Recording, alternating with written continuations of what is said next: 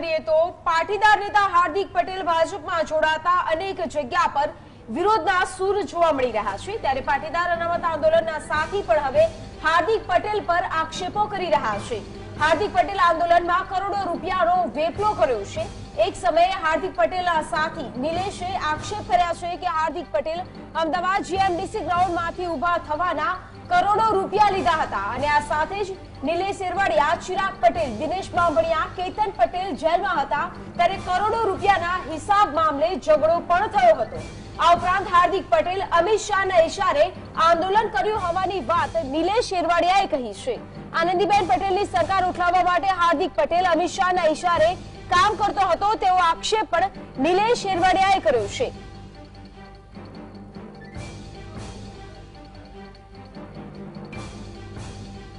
માં જે હાર્દિકની crime બ્રાન્ચે investigation કર્યું છે, પોલીસ અધિકારીઓએ ઇન્વેસ્ટિગેશન કર્યું છે, એમાં હાર્દિકના જે આંદોલન રિલેટેડ ટેક્સ મેસેજ છે, આંદોલન રિલેટેડ જે વોઇસ છે, એ બધા જે અધિકારીઓએ કાયદા છે, એ સિવાયના પચીસ તારીખ, ચોવીસ તારીખે નાઇટ અને પચીસ તારીખે દિવસે હાર્દિક પટેલ કોની સાથે સંકળાયેલો હતો?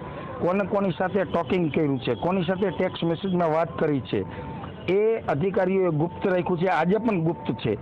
એટલે ક્યાંક ને ક્યાંક અમિત શાહ સાથે હાર્દિક પટેલ પ્રથમ દિવસથી જ જોડાયેલા હતા અને આનંદીબેન પટેલને કોઈ પણ સંજોગોમાં સીટ ઉપરથી મુખ્યમંત્રીમાંથી બરખાસ્ત થાય એવો તખતો ઘડાવવામાં હાર્દિક પટેલ અને અમિત શાહનું ગઠબંધન હતું.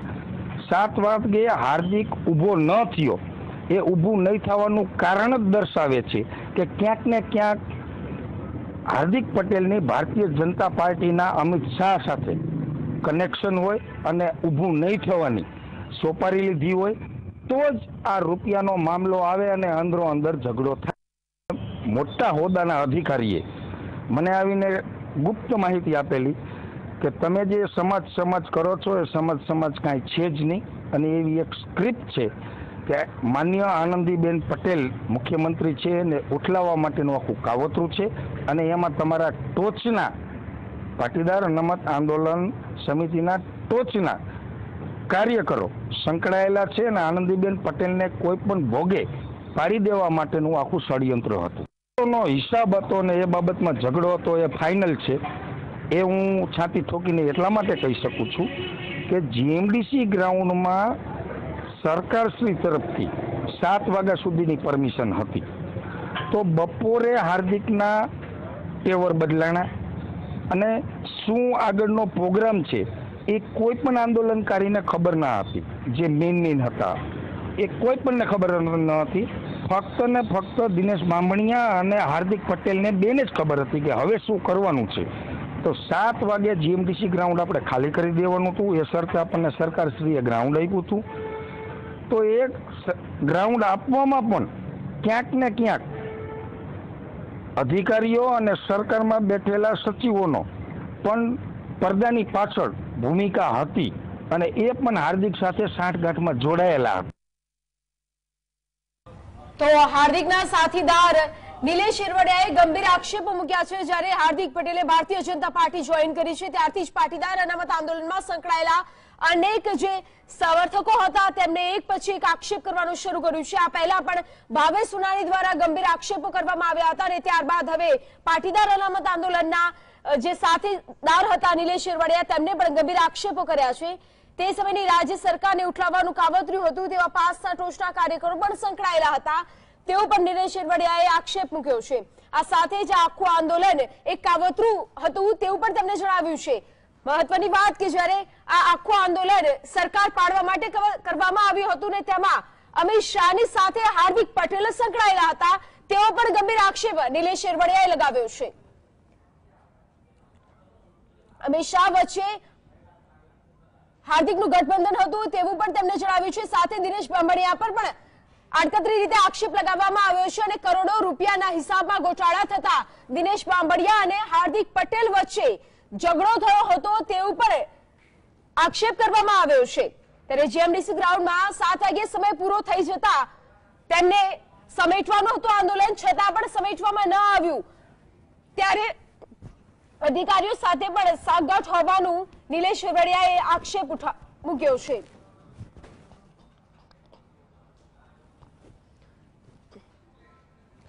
તો એક બાદ એક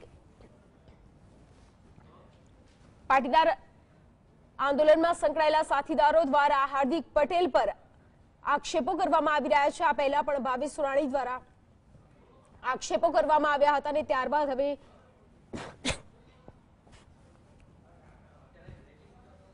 આનંદીબેન પટેલ અને સરકારને ઉઠાવવાનું, સમગ્ર કાવતરું હોવાના આક્ષેપ નિલેશ કેરવાડિયા દ્વારા કરવામાં આવ્યા છે.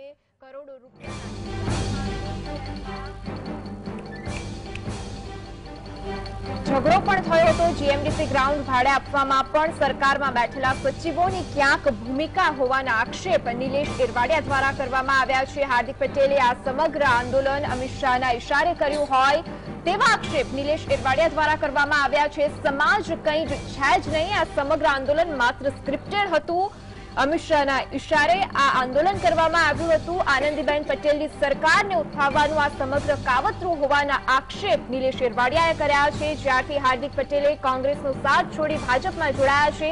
ત્યારથી ક્યાં ઠેર ઠેર વિરોધ દેખાઈ રહ્યો છે. ત્યારે વધુ એક એક સમયના પાટીદાર આંદોલન સમયના સાથીદાર, હાર્દિક પટેલના સાથીદાર નિલેશ ઇરવાડિયા દ્વારા આક્ષેપ કરવામાં આવ્યો છે. આનંદીબેન પટેલને કોઈ સંજોગોમાં મુખ્ય પ્રધાન પદેથી ઉઠાવવાનું આ સમગ્ર કાવતરું હોવાના આક્ષેપ તેમણે કર્યા છે. તો કરોડો રૂપિયાના હિસાબ મામલે પણ જેલમાં હાર્દિક પટેલ અને દિનેશ બાભણિયા વચ્ચે ઝઘડો થયો હતો. જીએમડીસી ગ્રાઉન્ડ ભાડે આપવામાં પણ સરકારમાં બેઠેલા અધિકારીઓની સાંઠગાંઠ હોવાના નિલેશ ઇરવાડિયા દ્વારા આક્ષેપ કરવામાં આવ્યા છે.